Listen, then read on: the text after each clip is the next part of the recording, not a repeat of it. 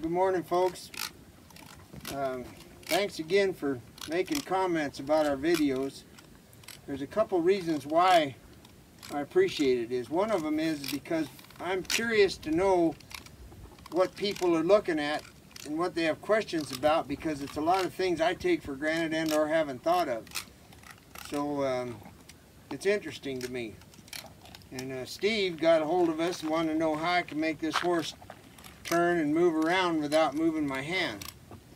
Well, that's that's why the spade bit horse, Steve. That's why we do this.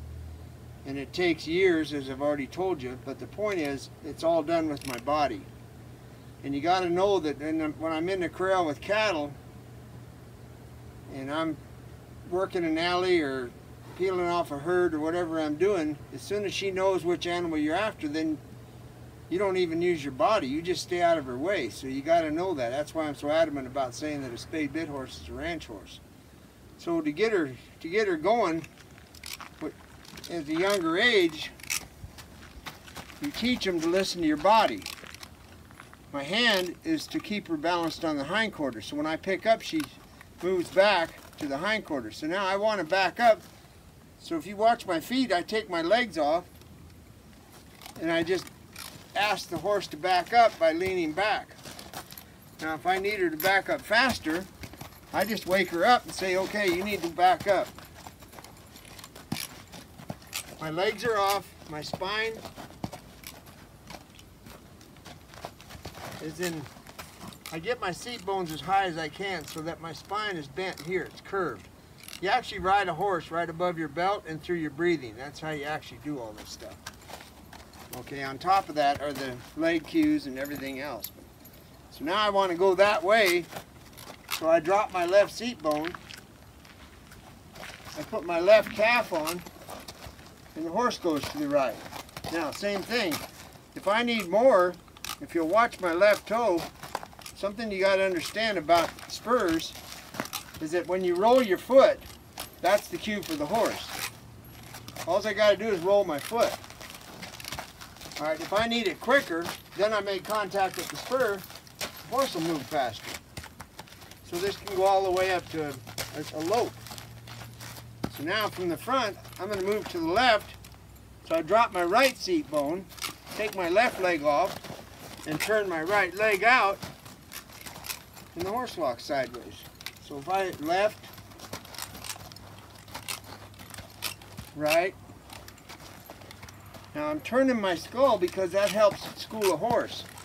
But when you're working cattle in an alleyway, you don't turn your head. You keep looking at your cattle. You don't take your eye off your cattle. So your horse learns to compensate. And like I told you, if they got cow in them, you just need to be very quiet and stay out of their way as soon as they figure out what you want. Now, one of the drawbacks of that I've noticed with people riding and working cattle, and everything, if you can't separate the front end from the hind quarter, you're going to be in trouble. You'll get hurt. It's just a matter of time. So to disengage the hind quarter, I simply displace my weight to the front and then put my leg back. If I put my right leg back, my horse goes that way. Pick her up. Here's my left hand picking her up. My right leg is on. And the hind quarter walks around. Left, I displace my weight foot out. Now remember, what I'm telling you, you got to turn your foot out to use a spur. English riders polish their boots. That's all they do. Western riders kick their back cinch. Well, neither one of those work real well. So you need to actually turn your toe out and make contact if you want. Back up, side pass, hind quarter. Now the forehand is done with your left shoulder you put your leg on, front end comes around. Right shoulder open, front end comes around. Left shoulder open, front end comes around. Now all I got to do is change it up, and the hind quarter comes around. And I can bring the front end across. So to answer your question, your hand balances the horse through the spade bit. Your body does all the lateral work and stopping and turning. Now stopping is simply, like I said, you raise up on your seat bones and you simply sit down. So when you sit down and exhale, the horse stops. Now, you notice I do everything at a walk. Okay, well, I do run.